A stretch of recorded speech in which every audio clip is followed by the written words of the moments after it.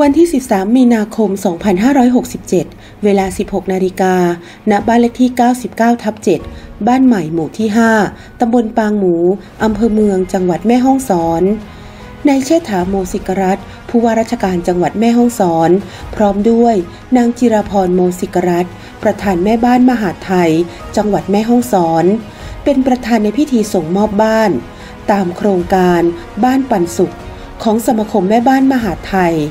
เฉลิมพระเกียรติ สมเด็จพระนางเจ้าสิริกิติ์พระบรมราชินีนาถพระบรมราชชนนีพันปีหลวง เนื่องในโอกาส มหามงคลเฉลิมพระชนมพรรษา 82 พรรษา และเพื่อลดความเหลื่อมล้ำในสังคม ให้กับประชาชนกลุ่มเปราะบาง ให้มีคุณภาพชีวิตที่ดีขึ้น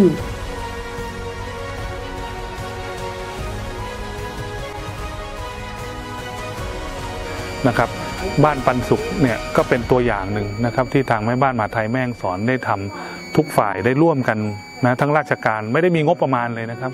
เป็นงบที่แม่บ้านมหาไทยเนี่ยได้ได้รับการสนับสนุนจากทุกหน่วยงานมาในกิจกรรมต่างๆ แล้วก็ยังได้รับการสนับสนุนเฉพาะจากชาวบ้านด้วยนะครับ เจ้าของที่เจ้าของที่เนี่ยเขาก็เห็นใจคนที่ไม่มีที่อยู่อาศัยเขาก็อนุญาตให้สร้างสร้างที่อยู่อาศัยนะครับ ไม่ใช่ญาติพี่น้องกันด้วยนะครับ ทางกำนันผู้ใหญ่บ้านเขาก็มีกำลังอะไรก็มาช่วย มีวัสดุมีอุปกรณ์มีกำลังแรงงาน ก็เอามาช่วยชาวบ้านก็มาช่วย ทางอำเภอเนี่ยท่านนายอำเภอก็เอากำลังทางเจ้าหน้าที่ทางอสอมา แล้วยังมีอีกหลายหน่วยงานที่เข้ามาช่วย แต่ไม่ช่วยว่าสร้างบ้านเสร็จอย่างเดียวนะครับ ก็จะดูแลระยะยาวให้อีกว่าดึงพัฒนาสังคมเข้ามาดึงสาธารณสุขเข้ามาดูแลเรื่อง สุขภาพอนามัยโครงการพอจของเรานะครับแล้วก็เรื่องการพัฒนาศักยภาพเขาอีกของน้องเนี่ยน้องที่อยู่เนี่ยก็เป็นคนพิการก็จะดูแลพัฒนาศักยภาพเขาแล้วก็ให้เขาชีวิตเขาเนี่ยสามารถที่จะช่วยเหลือตนเองได้ เพราะว่าครอบครัวก็ไปดูดูแลเขาไม่ไม่ได้ สังคมก็จะมาดูแลเขานะครับ ก็คงคิดว่านะนี่ก็จะเป็นตัวอย่างในการจุดประกายให้ ให้คนในสังคมไทยเห็นว่านะฮะคนไทยเนี่ยนะยังมีน้ำจิตน้ำใจ โดยเฉพาะที่แม่งสอนเนี่ยคนเนี่ยมีน้ำใจมากเหลือล้นนะครับที่จะที่จะช่วยเหลือผู้ตกทุกข์ได้ยากนะครับ บ้านปันสุขที่มอบให้กับครอบครัวผู้ยากไร้ในวันนี้ คือครอบครัวของนายนัทพาสพีรวัตรบวรกุล อายุ 16 ปี ซึ่งเป็นผู้พิการทางร่างกาย มีฐานะยากจน ไม่มีที่อยู่อาศัยเป็นของตนเอง อาศัยอยู่กับครอบครัวจำนวน 3 คนปัจจุบัน นายดารณีทองเขียว เจ้าของบ้านเลขที่ 99 ทับ 7 ได้อนุเคราะห์ให้อาศัยอยู่ด้วยกัน โดยได้ทำบันทึกอนุญาตให้ใช้พื้นที่บางส่วนของตน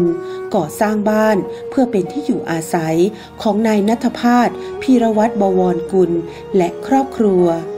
ชมรมแม่บ้านมหาไทยจังหวัดแม่ฮ่องสอน และที่ทำการปกครองอำเภอเมืองแม่ฮ่องสอน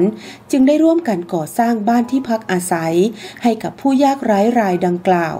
โดยได้รับการสนับสนุนงบประมาณ การก่อสร้างดังนี้ 1. จากนายกิติบุญเจริญพระธรรมดีและคณะจำนวน 50,000 บาท 2. จากกองทุนผ้าป่าขยะของอำเภอเมืองแม่ฮ่องสอนจำนวน 10,000 บาท 3. จากกองทุนพชอเมืองแม่ฮ่องสอนจำนวน 3,000 บาท 4. ได้รับการสนับสนุนวัสดุบางส่วน จากนายชัยวัฒน์สืบพงเอื้อ กำนันตำบลปางหมู 5. ได้รับการสนับสนุนแรงงานจากนายพงศธรสิริรัตน์ผู้ใหญ่บ้าน พร้อมทีมงานชาวบ้านใหม่ หมู่ที่ 5 ตำบลปางหมู และจากสมาชิกกองร้อยอสออำเภอเมืองแม่ฮ่องสอนที่2ด้านนายเชษฐาโมสิกรัตน์ผู้ว่าราชการจังหวัดแม่ฮ่องสอนได้กล่าวว่า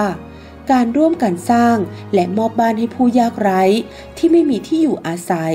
ตามโครงการบ้านปันสุขเฉลิมพระเกียรติในครั้งนี้ ถือเป็นการสร้างบุญกุศลอันยิ่งใหญ่ อีกทั้งยังเป็นการร่วมกันทำความดี และสนองนโยบายของรัฐบาล กระทรวงมหาดไทย ในการเร่งรัดแก้ไขปัญหาให้กับผู้ด้อยโอกาส รวมทั้งจะเป็นต้นแบบในการปลูกฝังลูกหลานเยาวชน คนรุ่นหลัง ให้เกิดจิตสำนึก ในการช่วยเหลือเพื่อนมนุษย์ เกิดความรักความสามัคคีในชุมชนอย่างยั่งยืนต่อไป